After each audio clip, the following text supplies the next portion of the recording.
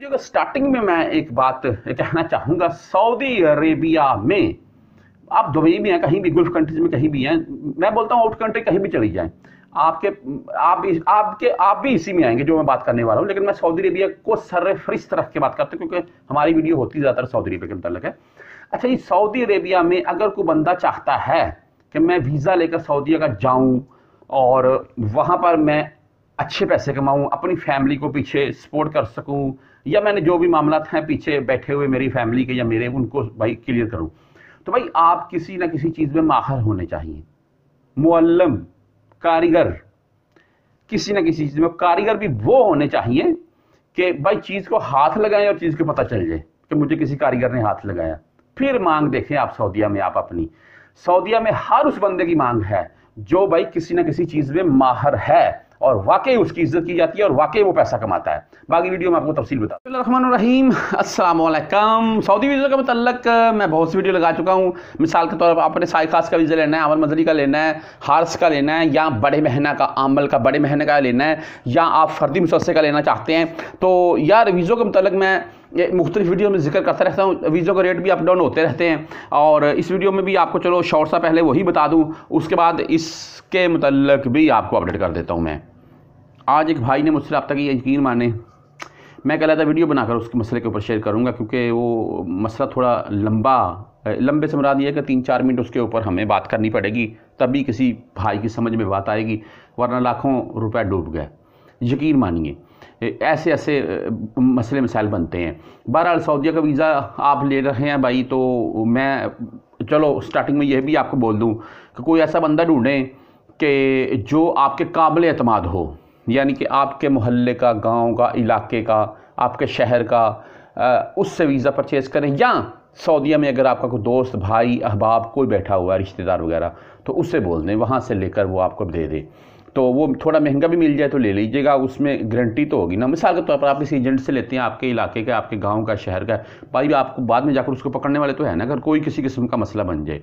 तो बाकी सऊदीया का वीज़ा लेने से पहले अपना स्टेटस ज़रूर चेक करवाएँ कि आप सऊदीया में क्या जा भी सकते हैं।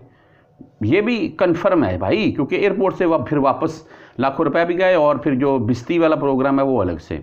यकीन मानिए, ऐसे केस भी बेशुमार सामने आ रहे हैं। तो अभी तो खुद सऊदी जवाजात उस चीज़ को हैंडल कर रही है और बाकायदा सोशल मीडिया के ऊपर वो चीज़ पूरी दिखा कर बताती भी हमें। इसके मतलब मैंने दो दिन पहले एक वीडियो लगाई है, जिन भाइयों को हाइल एयरपोर्ट से वापस किया गया है पाकिस्तानी। तो वीज़ों का मतलब ये है जी कि मिसाल के तौर पर अगर आप साई खास सामर मंजली वगैरह का वीज़ा लेना चाहते हैं आपको पता है सस्ता वीज़ा होता है। थोड़ा जो सऊदी में भाई हैं वो जानते हैं और अगर आप कफील के अंडर में काम करेंगे, फिर तो आपको मज़ीद सस्ता मिल जाएगा।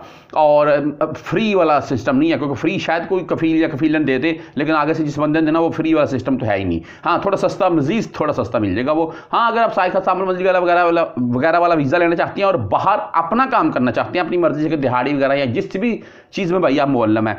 तो उस सूरत में फिर वो कफील आपको इजाज़त दे देता है, अपनी मंथली वगैरह जो भी होती है डिसाइड कर लेता है। वो परदेसी भाई जो, भाई मैं ऐसे दोस्तों को जानता हूँ, दस दस, बीस बीस साल से लगे हुए हैं, बाहर काम कर रहे हैं साय खास आमर मंजली के उनके महीने हैं। लगे हुए हैं भाई, बस नहीं हाथ आ रहे हैं। अगर हाथ आ जाएँ तो बदून कफील के ज़ुमरे में रख के डिपोर्ट कर देते हैं वो। ये भी क्लियर कर दूँ आपको मैं। हाँ कुछ छोड़ दे तो वो फिर खुदा तरसी कर जाएगा आपके ऊपर, और वरना मामला छोड़, छोड़ने वाला नहीं होता है। तो बहरहाल जी, अगर साइका सावल बजरी वगैरह वाला वीज़ा लेना चाहते हैं, इस वक्त पाँच छः सात हज़ार रियाल के अराउंड में आपको मिलेगा। और अगर आप कफील के अंडर काम, यानी कफील को घर का वाकई मुलाजम चाहिए तो फिर आपको हो सकता है वो दो तीन हज़ार, चार हज़ार के रियाल के अराउंड में वीज़ा मिल जाए। लेकिन जो कफील के अंडर में काम करेगा, ज़ाहिर सी बात है भाई, फिर कफील सैलरी भी उसी हिसाब से देते हैं, बारह, चौदह सौ। और वो भी किसी मंथ दे दी। अगर कफील अच्छा हो तो भाई लोग सालों उनके साथ चलते हैं। और बहुत से अच्छे मैंने कफील देखे ताइफ में मैंने एक पाकिस्तानी देखा आपको शौर सा बता दूँ कि वो एक सऊदी लड़की थी, उसको लेकर जाता था मदरसे ताइफ में ही और हफ़्ते में एक दिन जाता था वो, जिस दिन छुट्टी होती थी, उसको लेकर जद्दा। जद्दा में उसकी शादी हुई थी, उसका हस्बैंड जद्दा में काम करता था जद्दा में वो यानी कि जुम्मे वाले दिन चले गए, हफ़्ते वाले दिन रहते थे तवार वाले दिन शाम को वापस आते थे। उसकी ये ड्यूटी होती थी, बोलता मुझे बाईस साल हो गए, बाईस साल इनके साथ। ये लड़की छोटी थी, जब से मैं इनके साथ हूँ, अभी बड़ी हो गई है, अमेरिका से पढ़ के आई है, जॉब लग गई है। तो माशाल्लाह, यार बात करने का सिर्फ़ मकसद ये था कि उनको फील अच्छा मिल गया, उनको वो आदमी अच्छा मिल गया। लंबा अरसा चले साथ में। तो बहरहाल जी घर के ड्राइवर के मतलब मैंने आपको बता दिया वीज़े सस्ते हैं सैलरी भी थोड़ी कम होती है। फील अच्छा मिल जाए, फिर तो बंदे के बारे नहीं आ रहे हैं। अगर आप बाहर काम कर रहे हैं तो वो वीज़े का रेट मैंने आपको बता दिया, साय का सामान मंजरी का भाई पाँच छः सात हज़ार के रियाल के अराउंड में मिलेगा, लेकिन थोड़ी एहतियात करनी पड़ेगी आपको बाहर काम करने के सिलसिले में। उसके बाद आमल के वीज़े के मतलब बात करें तो आमल के महीने वाला वीज़ा इस वक्त आठ हज़ार से शुरू होता है। और उसमें भाई ये भी फड्डा है फिर कि आपका इकामा दस हज़ार रियाल में लगेगा। कफील की मंथली आप ऊपर जितनी देंगे कफील को वो आपके ने कफील के साथ डिसाइड करना है अगर आपने बाहर काम करना है। और दूसरे एक, उसमें ये बेनिफिट होता है कि बाहर आप कहीं काम कर रहे हैं तो शुरता आपको पकड़ेगा नहीं शुरता आपको छोड़ेगा। आप देखेगा आपका ही काम है आपको छोड़ देगा। ये होता है बेनिफिट उसमें शुरते की टेंशन नहीं होती है। हाँ फर्दी मुसस्से का जो चक्कर है जी वो थोड़ा मुख्तलिफ़ है इनसे वो कैसे मैं आपको बता दूँ। फर्दी मुसस्से का चक्कर ये है जी कि फर्दी मुसस्से में आपका महना तो बड़ा होगा यानी कि का सामल मंजली वगैरह वाला महँगा नहीं होगा। महँगा तो आपका बड़ा होगा, लेकिन वीज़ा आपको एक तो सस्ते में मिलेगा। सात आठ हज़ार रियाल के अराउंड में वीज़ा मिल जाएगा। चलो मान लिया जो आमल का महना है, बड़ा वीज़ा होता है, उसी के मुतरद आपको मिल जाएगा ये। साय खास से महँगा महँगा मिलता है, लेकिन इकामा जो है ना, वो सस्ते में बनता है इनका, फर्दी मुसस्से का। यानी कि कफील को आपने पाँच हज़ार, छः हज़ार इसी अराउंड में देने हैं, जो चल रहा है अभी का। मंथ, सालाना। ठीक है? उसने आपका इकामा लगाकर आपको दे देना है। आपने पूरा साल भाई फिर फ्री हैं, पूरा साल जिधर मर्ज़ी काम करें। ये मामला होते हैं। वीज़ों के मतलब मैंने आपको बता दिया है। बाकी आपको इसके मतलब कोई और इन्फॉर्मेशन चाहिए व्हाट्सअप नंबर आपको स्टार्टिंग में दिखा चूँगा मुझसे रब्ता कर सकते हैं। अभी आपको पिक्चर दिखा रहा हूँ। इस पिक्चर में थोड़ा इस तरफ़ हो जाता हूँ। पिक्चर के मतलब बात कर लेते हैं जी, ये है क्या? सऊदी अरबिया के वीज़े। देखें हमारा काम है बता देना। वीज़ा बाय कैसे करना है? वीज़ा लेना आपने कैसे? वो भी मैंने आपको वीडियो को स्टार्टिंग में बता दिया है। आप किधर से वीज़ा लें? मेरे नज़दीक। और किसी नथुफतु से वीज़ा की बात मत करें, भाई, फ्रॉड होता है, बहुत फ्रॉड चलता है, यकीन माने। तो बहरहाल जी, सबसे पहले इसमें एक चीज़ मैं काबिल गौर जो मेरी समझ में आ रही थी, वो वो क्या है, केमिकल इंजीनियरिंग। ठीक है, इनकी सैलरी पैंतीस सौ चार हज़ार रियाल। पैंतीस सौ चार हज़ार भाई, सैलरी सऊदी में कोई भी नहीं देता। अगर केमिकल इंजीनियर को कोई पैंतीस सौ चार हज़ार रियाल सैलरी देता है ना तो फिर इकामा और टिकट वगैरह उसी उसकी खुद की होती है। और ये जो ये जो मैं आपको बता रहा हूँ ना, पैंतीस सौ चार हज़ार रियाल सैलरी, इसमें भाई वो बंदे एडजस्ट होते हैं जो कुछ मखसूस या कुछ मखसूस कंपनीज़ को ऐसे बंदे चाहिए होते हैं। ऐसा नहीं है कि आपने केमिकल इंजीनियर किया और आप सऊदी में चले जाएँगे, उसी टाइम आपकी सैलरी लग जाएगी। कंपनी वगैरह अगर पाकिस्तान से बंदा बुलवाए ना, वीज़ा सस्ता देकर एज केमिकल इंजीनियर या किसी भी और ऐसे, जैसा कि इसके आगे लिखा हुआ सिविल इंजीनियर इसके मतलब बताता हूँ मैं। तो भाई फिर कंपनी पैंतीस नहीं देती, कंपनी उसको पंद्रह सौ रियाल सैलरी देगी। ये भी आपको क्लियर कर दूँगा ये इधर लिखा हुआ है पैंतीस सौ चार हज़ार। आगे सिविल इंजीनियर चार हज़ार से पैंतालीस सौ रियाल सैलरी माशाल्लाह, क्या कहने सिविल इंजीनियर वाले पाकिस्तान में ना धक्के खाते फिरते हैं बेचारे। इतनी इतनी इतनी मतलब की जॉब ही नहीं मिल रही है। अच्छा जी ये भी मेरी समझ से बाहर है। ऐसा नहीं होता है। कंपनी अगर किसी को बुलाए तो पंद्रह सौ, अठारह सौ, दो हज़ार सैलरी देगी, इससे ज़्यादा नहीं देगी। और बाहर आप आज़ाद कहीं ढूंढेंगे तो भाई वो आपको इकामा खाता वगैरह सारा आपके खाते में डाल देगा। आपको खा पी करके फिर वही बचेगा दो हज़ार पच्चीस सौ। शायद दो हज़ार ही बचे। नीचे है जी, लॉन्ड्री टेक्नीशियन जी पंद्रह सौ से अठारह सौ रियाल सैलरी है। डब्ल्यू टी पी टेक्नीशियन चौदह सौ से सोलह सौ।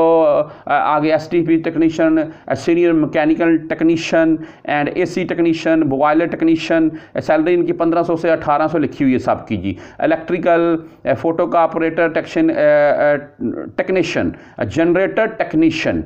ठीक है इलेक्ट्रिकल 1500 से 1800 हज़ार सैलरी और इलेक्ट्रॉनिक्स टेक्नीशियन ये सब इनकी भाई सैलरी जो है ना, वो यही लिखी हुई 1500 से 1800 रियाल आप खुद भी पढ़ सकते हैं। मेडिकल गैस टेक्नीशियन वगैरह, ये जो भी ऑटो कार मकैनिक ठीक है?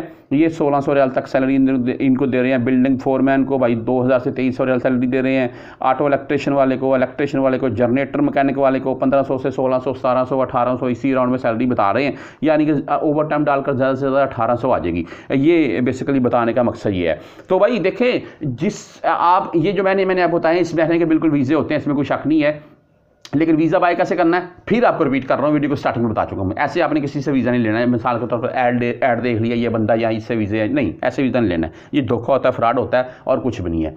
अच्छा ये वीज़ा आपने कैसे बाय करना है? मैं आपको रिपीट कर बता चुका हूँ। और इन महीनों के मतलब जैसा कि आपको बता चुका हूँ मैं, अगर आपने इनमें से कोई भी मिसाल के तौर पर कोई महीना है कंपनी का वीज़ा है तो कंपनी का वीज़ा एक तो आपको मिलेगा सस्ता में। और दूसरी कंपनी आपको ना सैलरी देगी चौदह, पंद्रह सौ, सोलह सौ रियाल, ठीक है? और जो काम आपको पाकिस्तान में बताएगी वहाँ पर जाकर वो काम नहीं देगी। बहुत बहुत कम होता है, वही काम आपको मिल जाए। वहाँ पर आपको किसी और काम के ऊपर लगा देंगे, बोलेंगे, जी, अभी वो काम नहीं है, आप ये कर ले, बाद में चलो उसके ऊपर आपको एडजस्ट करवा देंगे, ये है, वो है। तो मैं कंपनी के वीज़े के हक में तो हूँ नहीं। ठीक है? क्यों? बंदा भाई जलीली होता है। सीधी बात करूँ ई काम एक्सपायर हैं कंपनियों के, हज़ारों पाकिस्तानियों के, हज़ारों के, मैं बोलता हूँ, लाखों के ई काम एक्सपायर हैं। और अगर आप आज़ाद वीज़ा लेना चाहते हैं तो किसी अपने करीबी से लीजिएगा, और महीना वगैरह देख लीजिएगा, और उससे कंफर्म बात कर लीजिएगा, भाई, मुझे सालाना कितने देने पड़ेंगे? क्या मामला है? आप दूसरी बात किसी न किसी चीज़ में, जैसे कि वीडियो को स्टार्ट में बता चुका हूँ, मैं माहर होने चाहिए।